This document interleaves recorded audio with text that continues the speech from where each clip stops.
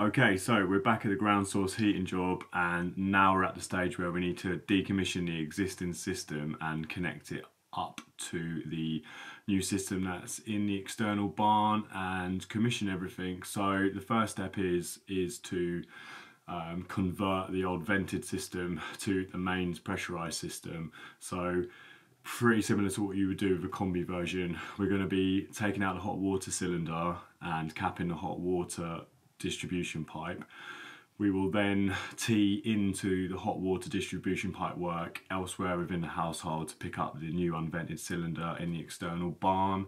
And with the cold water main, we're going to be disconnecting the vented uh, cold water tanks up in the loft and then linking over the cold water main to the cold water distribution pipe work uh, to make the whole property mains water pressurized.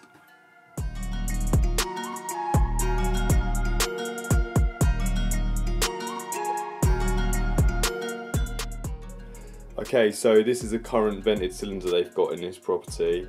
We're having to siphon it out because the drain off is faulty.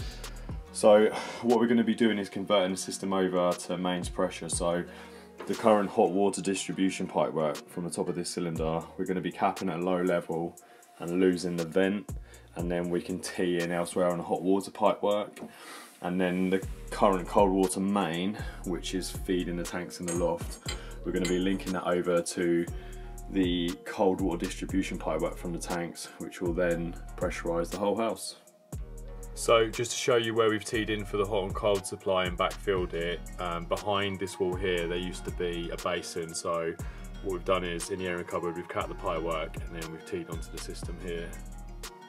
Okay, so whenever you're converting a low pressure vented system to a mains pressure system, you need to double check the showers so quite often customers will have digital showers and these processors or brains they're only suitable for the type of water pressure you're running currently. So at the moment this is a low pressure system so this processor is designed for a low pressure water coming in.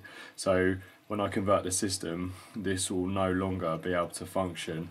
In fact the chances are it will probably leak. So the customer has actually found a company that will um, convert these over to mains pressure. So you can either do that or you can speak to the manufacturer of the shower and they'll provide you um, with a mains pressured alternative obviously at an additional cost. So just bear that in mind whenever you're converting a system over.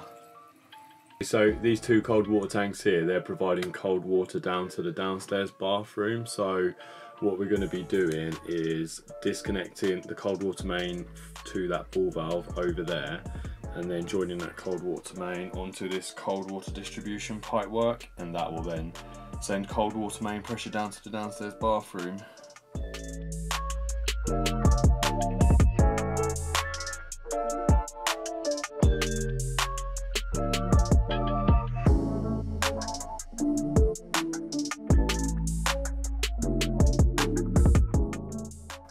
Right, so all the cold water tanks are out now and I've just got to identify which pipe needs to join onto which and I can start getting it all piped up.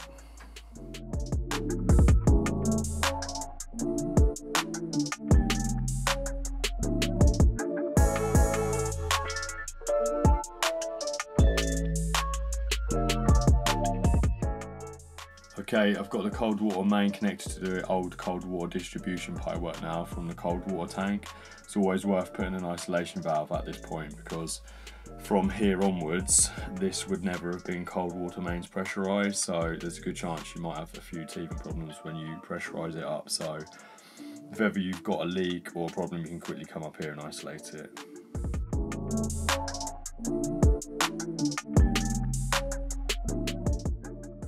So the cylinder's been removed now and Bailey has made good progress piping up all the radiators.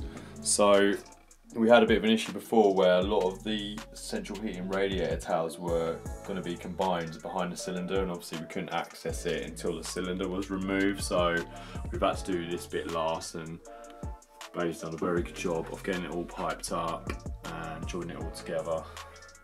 Okay so quite a lot of these pipes that we're just poking through the floor here are actually uh, from the radiators. So originally we put the central heating in first, but because the existing system was still up and running with the cold water tanks and the vented cylinder, we couldn't actually uh, join up the radiators to the main flow and return. So we're just getting to that point now where we're starting to join everything together in the points we couldn't access.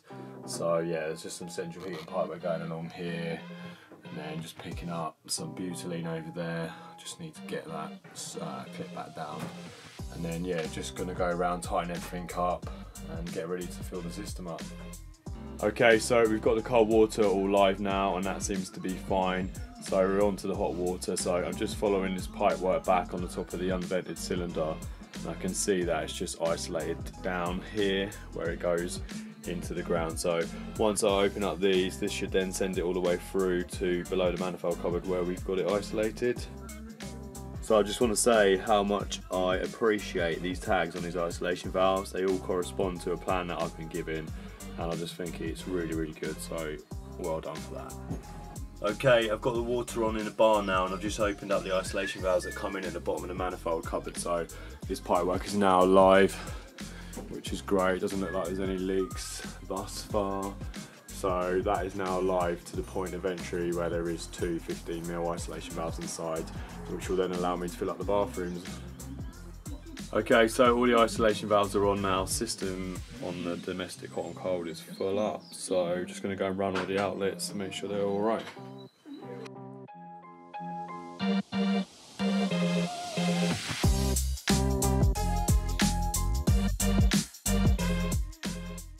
Okay, so we're about to start filling up the central heating system. I've temporarily wired in the pump because the electrician's not been yet.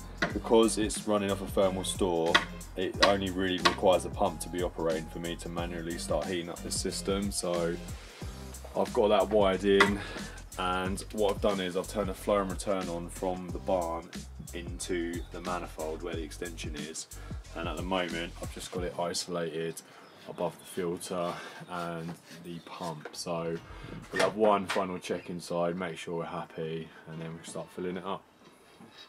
So this is where the flow return hot and cold come into the building and then this is the start of our central heating run.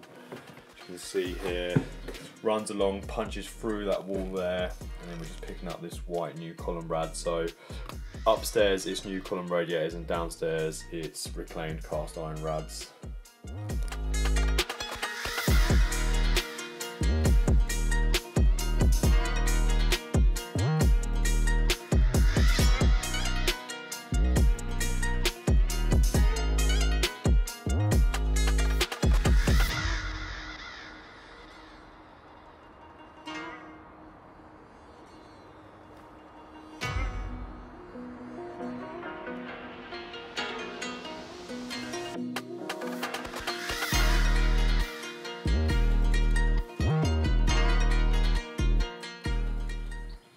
Okay, so the central heating's all full up now and the pump's operational.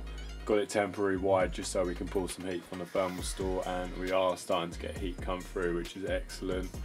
So we've got the central heating full up at the moment at one and a half bar and we're just purging and balancing the system and other than that it's gone really well and there's some big cast iron radiators in there so it took a long time to fill up.